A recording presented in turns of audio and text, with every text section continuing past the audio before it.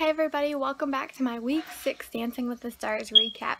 Tonight was horror night and I can honestly say I've never seen any of these horror movies. I'm not a fan of scary things, but I did enjoy horror night on Dancing with the Stars, so let's get into it.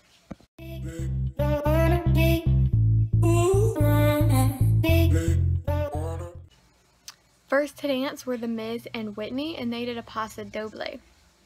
I thought this paso they did was very nice. It was strong, it was powerful, the technique was awesome.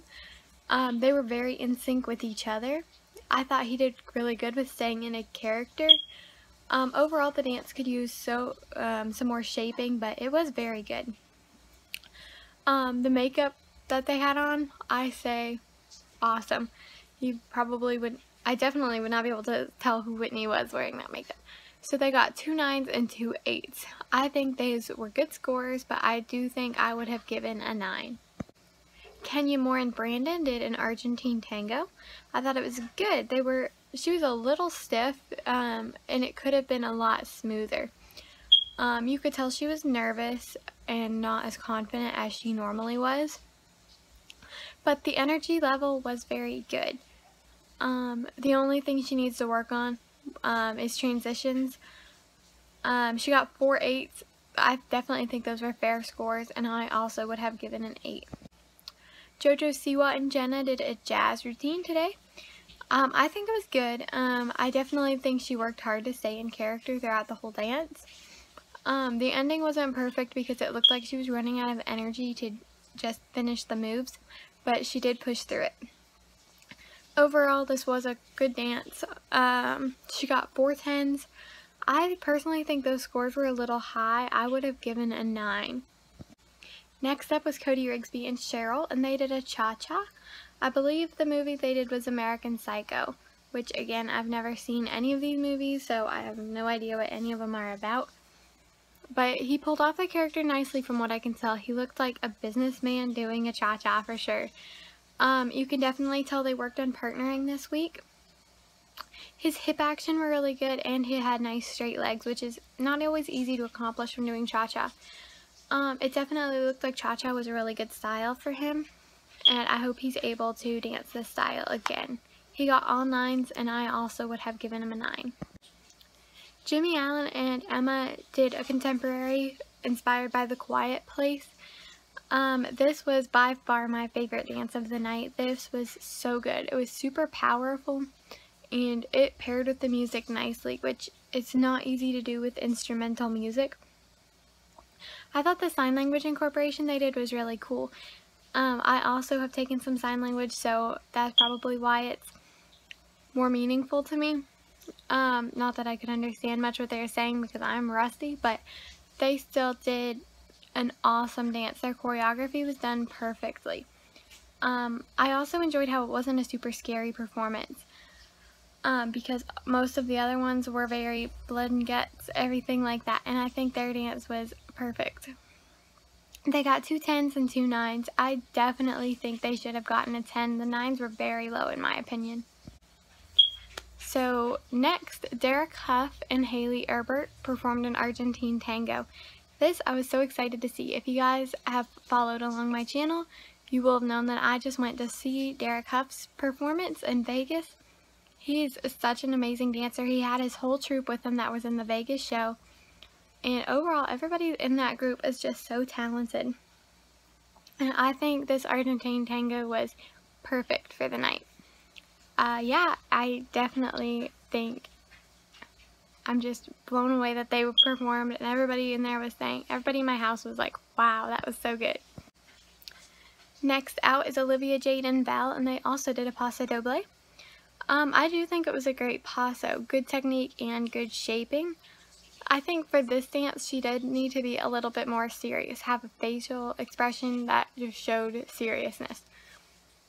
But um, I this was a very hard routine that they did and I think she did it really well. That's the only comment I have is just make the facial expression more serious because she looked very happy, like she was enjoying it, which is good, but still for Paso it needs to be serious. Um, she got all nines, and I think the nines were really low. I think they, they could have gotten a 10. Melora Hardin and Artem did a jive to Hound Dog by Elvis Presley. I believe their movie was Cujo. I do think it was good. Um, it did seem like a slow jive for the song that they had, um, but the choreography that she had was done very nicely. Um, like the judges said, the dance did seem a lot easier and safer than what the other contestants have been giving. And also, this dance was not scary at all. And obviously, it's going to be pretty hard to be scary to a song like Hound Dog. So, yeah, I think this dance was done really well. And it was a good job. It just could have been a little faster. Um, they got two eights and two nines. I would have given an eight. Iman Shumpert and Daniella also did an amazing contemporary this week. I was very nervous when I heard they were doing contemporary because he's he's got long arms and long legs and sometimes that doesn't always go well together. So um, I was very curious to see what they do with the height difference. But they gave an amazing routine. The lifts were fantastic.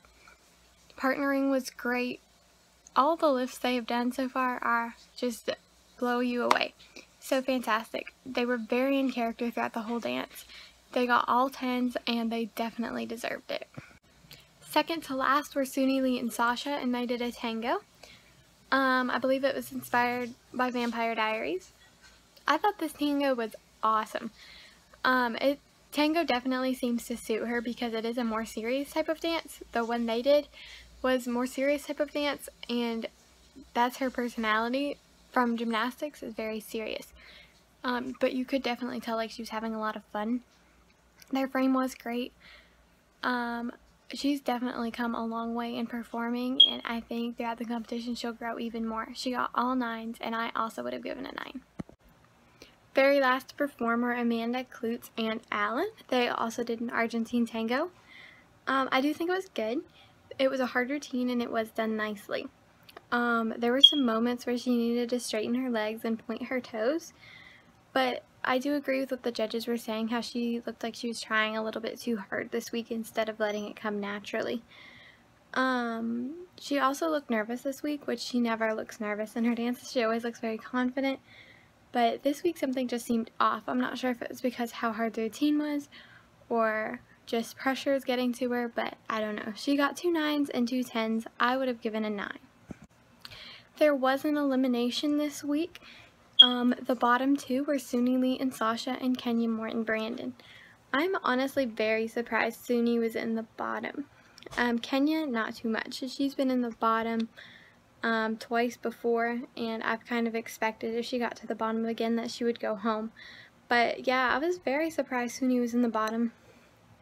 She's a very good dancer. She's a very hard worker. But I do think that the amount she's holding back on her performance level is getting to her and is getting to, it's influencing the people's votes. But I do think if she lets it come through like she's having fun like she did tonight, then more people will start to vote and then she'll be safe. Um, yeah, I was very surprised and Kenya Moore ended up going home. I hope you guys liked this video. If you did, make sure to give it a thumbs up and subscribe to my channel for more Dancing with the Stars updates. I'll have another review out next Wednesday, so stay tuned.